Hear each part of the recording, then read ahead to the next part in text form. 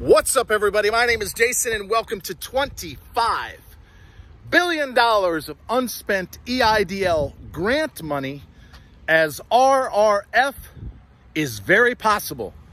It is Thursday, September the 23rd, 2021. Please do me a huge favor. Give this video a thumbs up, hashtag EIDL with your comments below. And don't forget, make sure you follow me over on Twitter at Try Small Biz, username Small Biz Inc., where I am, in fact, fighting on behalf to get you and your family the money that you deserve. All right, ladies and gentlemen, I am taking a stroll just outside my community. It is a gorgeous, sunny, 75 degrees, not a cloud in the sky. If you're in the Atlanta area, give me a shout out in the comments. This is arguably one of the most beautiful days of the entire year. I have a very, very good positive video for you guys. I am more optimistic than ever, in fact that restaurants are about to get paid. And of all things, there is an extremely strong possibility that the EIDL fund will not be rated to the tune of $31 billion. And in fact, they might give up to 3 million people a chance at up to $10,000, regardless of size, location, or credit score. So, wow. Why are you so optimistic, Jason? Well, folks, Big Ben fucking Cardin has been chatting up a storm on Twitter the last few days. I've engaged him numerous times. And there's a golden rule with respect to these senators. Jacky Rosen's a perfect example. She's not confident about S513. She hasn't said a fucking word about S513 since she reintroduced the bill six months ago. But when they start yapping, and Schumer does this all the time, about something they're supporting, whether it's a bill, an amendment, or whatever, it kind of means that it's in the bag. So if you go to Twitter when you get a chance and you take a look at the exchanges I've been having with Big Ben fucking Cardin.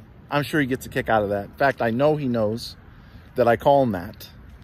Never had the pleasure of speaking with Ben, but I know uh, all the chiefs of staff.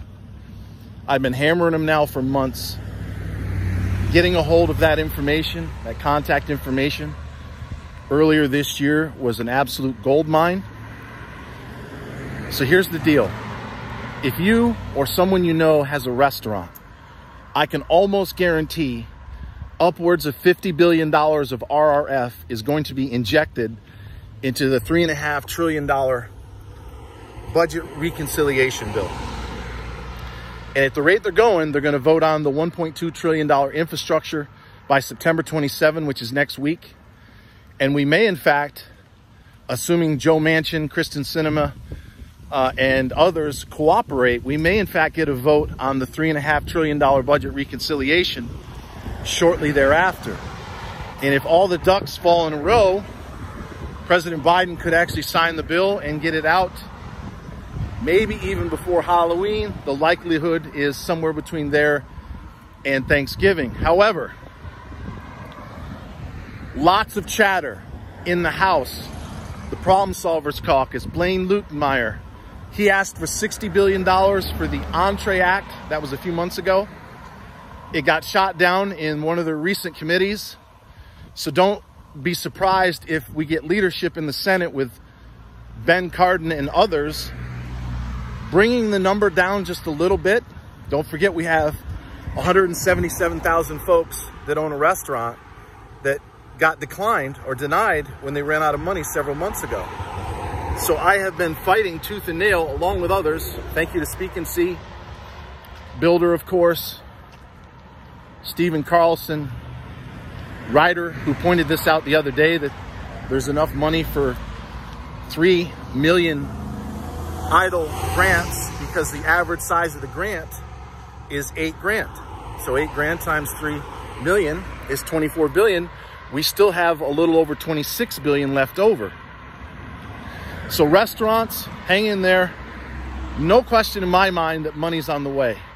PPP is more of a long shot. However, the discussion that's currently going on, and you can see some of this thrown around on Twitter if you're as obsessed with the platform as I am, It's for the smallest of small.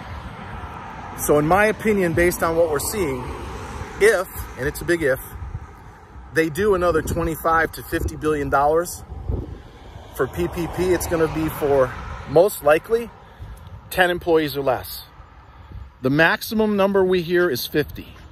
So if you're among the 10% that has more than 50 employees, I don't think you're going to get another round of PPP, not at least this year.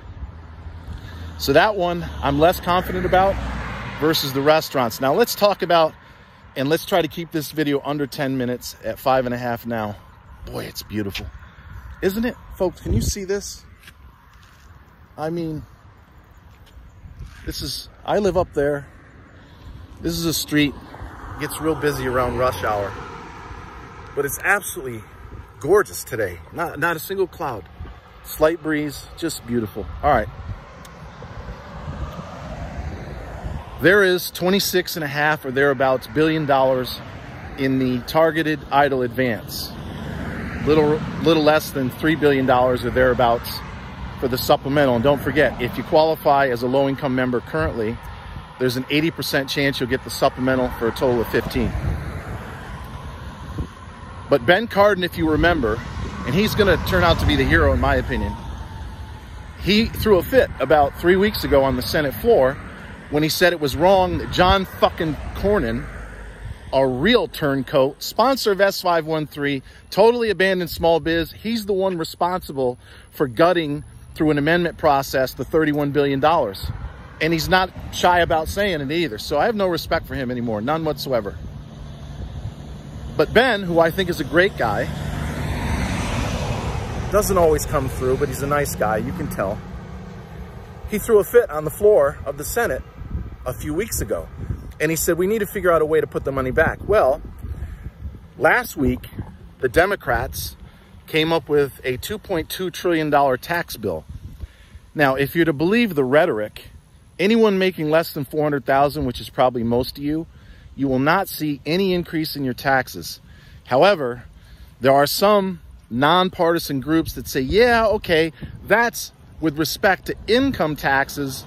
There are some possible increases for small business in other taxes and getting rid of child credits, et cetera, et cetera. So I don't quite believe that if you make less than 400 grand, you're not going to be touched at all.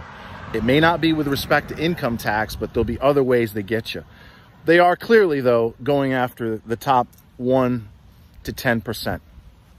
Who, by the way, the top 1%, in case you haven't never heard this, they pay 38% of all the taxes in the United States. So yes, some of them are hiding money in the Cayman Islands and over in Switzerland, but there are a lot of them that pay a shitload of taxes. The top 2%, in fact, of income earners pay almost half the taxes in the United States. But anyway, there's a possibility, based on what he is saying and others in terms of the chief of staff, they're throwing around an idea that, okay, now that we've got $2 trillion over 10 years of new taxes on the rich, we don't have to gut the EIDL program. And given that the deadline is December the 31st of this year, why don't we open it up to middle and high income communities? That is for a fact being discussed. It's not been announced publicly, but that for a fact has been discussed because they're never going to get through the money with respect to low income only. So, what are the odds? 50-50.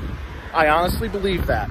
That Ben Cardin is successful because of the tax increases of preventing the EIDL program from getting rated and because there's over $25 billion still sitting there that would give upwards of 3 million people, mostly in middle income communities, of course, a chance to get the balance of the 10 grand and maybe even a shot at an additional five. So I am pushing relentlessly. I have others that don't even use social media that are doing the same. And our argument is simple, ladies and gentlemen. We want 10 grand regardless of size, location, or credit score. We got the $2 million caps. Those will open up October the 9th for those that are looking for up to 2 million bucks. We've got the 24 months of capital and people are getting funded like crazy. We're going to get the EIDL loan or at least going to work like hell to get it forgiven uh, at this time next year before the payments start becoming due. And yes, I really believe not only are restaurants going to get more money in the RRF, but there's at least a 50% chance.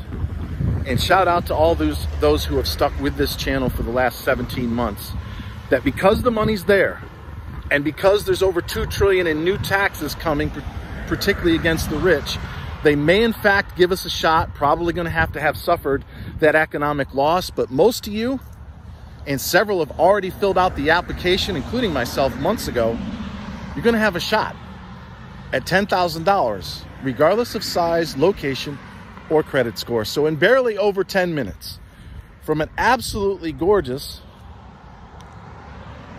suburban Atlanta, Georgia, always remember, I love each and every single one of you guys and gals.